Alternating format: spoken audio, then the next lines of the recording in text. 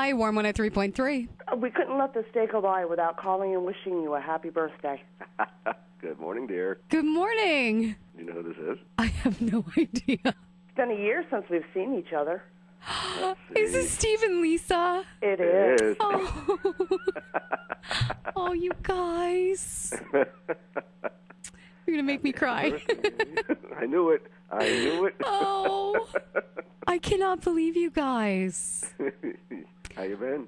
Good. I was just thinking, I, I actually just posted a message on Ann and Leo's Facebook saying happy anniversary.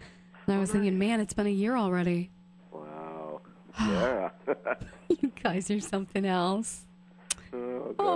Oh, God. Oh, I can't believe you. Uh, I oh, can you can- squeeze you, but you're not here for me to squeeze. well, you can thank Jay because he gave me the number and told me a good time to call. Oh, okay, I'll squeeze him. All right, All right we love you.